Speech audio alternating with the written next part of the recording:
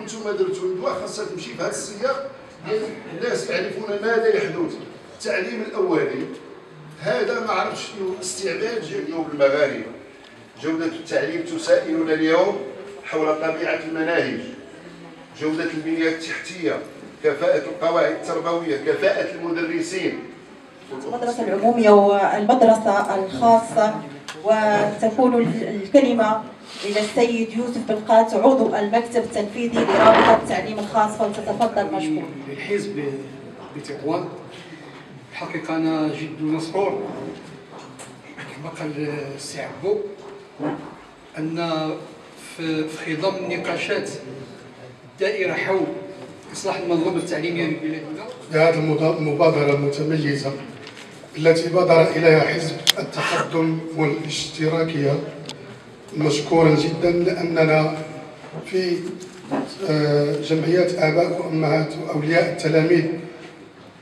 ما فتئنا ننادي الفعاليات السياسية بتطوان اليوم تتشرف الكتابة الإقليمية بتطوان باحتضان اللقاء الجهوي الثاني للمكتب السياسي حول منظومة التربية والتعليم والتكوين بالمغرب تحت شعار آه، المدرسة المغربية آه، سؤال الجودة ورهانة التنمية. كما قلت هذا اللقاء يدخل ضمن مجموعة من اللقاءات اللي غيقوم بها المكتب السياسي حول جهات المملكة. بخصوص هذا القطاع الذي يشهد إكراهات كثيرة وصعوبات جمة وبالتالي الدور هو خلق نقاش بين مجموعة من من فعاليات المجتمع الأكاديمية والحزبية والنقابية اللي مهتمة بهذا القطاع لأنه قطاع جد حساس خصوصا بعد النموذج التنموي الجديد الذي كان المغاربة والمواطنات والمواطنين يراهنون عليه آه، ويتمنون أن الحكومة تقوم بتنزيل هذا النموذج التنموي أو قطاع التربية والتعليم ضمن البرنامج الحكومي وللأسف لحد الساعة أو لحد اليوم هناك إكراهات آه، كثيرة تخص هذا القطاع. اليوم حزب التقدم الاشتراكي يقوم بهذه المبادرة من أجل رفع توصيات آه، وأفكار للمكتب السياسي ومن خلاله إلى آه، المؤسسات البرلمانية والمؤسسات الدستورية وعلى رأسها الحكومة الدستورية. شكرا جزيلا. تحية لجميع وسائل الإعلام الحاضرة على تتبع هذا النشاط وهذا اللقاء الجميل.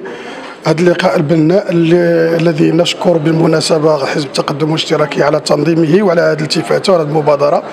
نحن في في فيدرالية الوطنية المغربية جمعية آباء وأمهات وأولياء التلاميذ. دائما كنا ننادي وندعو جميع مكونات المجتمع المغربي من أحزاب سياسية ومن منظمات المجتمع المدني ومن قطاع خاص كذلك إلى الانخراط في تطوير التعليم منظومتنا التعليمية لأن التعليم يهم مستقبل البلد وكما يعلم الجميع بأنه جميع الدول التي آه، حققت طفرة نوعية في تنميتها فهي بناء على التعليم أو بناء على إصلاح وتطوير منظومتها التعليمية. وبالتالي فالطريق واضح لمن أراد التنمية لمن أراد التقدم فعليه أن يطور منظومته التعليمية. مبادرة حزب التقدم الاشتراكي نتمنى أن تلتحق بها أحزاب أخرى وأن تقوم غرار على غرارها.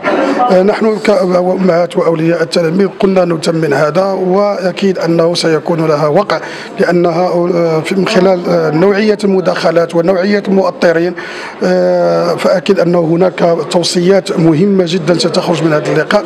بالتالي ندعو أو نوصي بتنزيل هذه التوصيات وعدم تركها حبرا على ورق أو في الرفوف كما سبقتها أو كما سبقت التعامل مع مجموعة من التوصيات وخلال مجموعة ديال مناظرات وطنية ولقاءات وطنية. نعم هناك تحرك هناك ولكن للأسف الشديد ما زال دون وقع على الميدان. دائما في كل لقاء تتحول اللقاءات هذه اللقاءات إلى محاكمة المنظومة التربوية الوطنية. جميع التصنيفات الدولية تحاكم منظومة التربوية الوطنية وبالتالي هناك شيئا ما يعوزنا وهي ما يعوزنا هو ما دعانا إليه صاحب الجلالة نصره الله وهو الجدية. السلام عليكم ورحمة الله. مؤسس لمؤسسة تعليمية في مارتيل.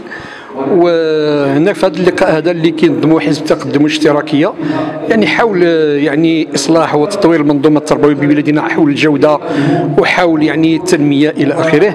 فأنا كنمثل هنا آه، رابطه التعليم الخاص بالمغرب كجمعية مهنية وطنية. وبصفتي عضو في المكتب التنفيذي لهذه الرابطة أنا حاولت ما امكن أنني ننقل الهموم ديال التعليم الخاص بالمغرب. وكنعتقد بأن أول شيء اللي خصنا نأكدوا عليه هو ان التعليم الخاص هو شريك أساسي للتعليم العام. حنا كنعتقد بأن المدرسة المغربية هي ذات شقين التعليم العام والتعليم الخاص. وكلاهما يمثل المنظومة التربوية ببلادنا. وأي إصلاح وأي توجه نحو التنمية في هذا المجال ونحو تنزيل الجودة فينبغي أن نضع هذين المكونين بعين الاعتبار ونعطيهم الحق ديالهم من أجل أن يؤديا دورهما خير آداء. حنا كنعترفوا بأن المؤسسة العمومية راه خرجت أجيال ولكن مؤسسة خصوصية راه هي مساند للمدرسة المغربية. هي واحد الوجه آخر للمدرسة المغربية من أجل أن تتحقق النتائج المنشودة. حنا شاركنا في جميع النقاشات. تجمع يعني القضايا التي تهم التعليم ببلادنا بدءا يعني بالرؤية ديال 15 30 المجلس الاعلى للتعليم للتربية والتكوين والبحث العلمي. شاركنا في, في, نقاشات قانون الإطار وإنضاج واحد المجموعه من البنود هذا القانون هذا.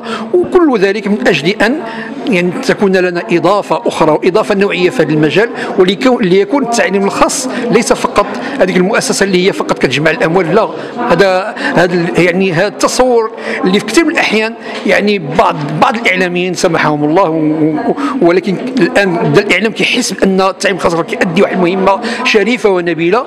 ف بعض الإعلاميين كيعطي انطباع على أن المؤسسة الخصوصية هي فقط هي جابية للأموال. ولكن في المقابل حنا خصنا نشوفوا المؤسسة الخصوصية اش كتقدم. راه يعني ان كتوظف واحد واحد كم هائل من الأساتذة والأطر والكفاءات وكم هائل من العاملين في مجال الخدمات وكتستوعب واحد كم هائل من التلاميذ أكثر مليون تلميذ على الصعيد الوطني. فإذا هذا الشيء هذا كيعطي المؤسسة الخصوصية أنها يعني خصها تكون واحد المكون أساسي وتعطيها الدور اللي خصها تقوم به في بلادنا. شكرا, شكرا لكم جميعا.